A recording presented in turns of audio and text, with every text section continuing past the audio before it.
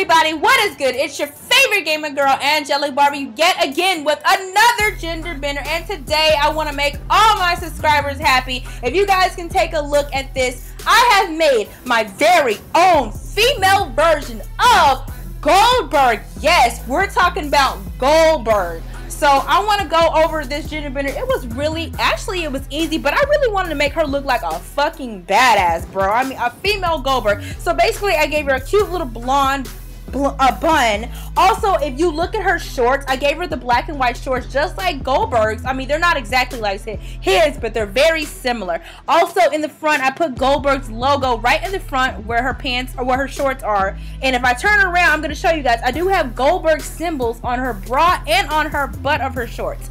Also, I know Goldberg doesn't have a brace piece, but I wanted to give her that because I thought she looked like a complete badass. I mean, come on, a female Goldberg. I do also want to give a shout out to some of my loyal subscribers who did ask for a female gender bender of Goldberg.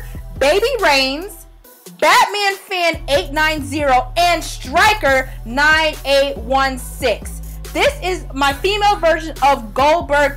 I call her Belle Goldberg. I really hope you guys enjoyed this awesome entrance of Belle Goldberg.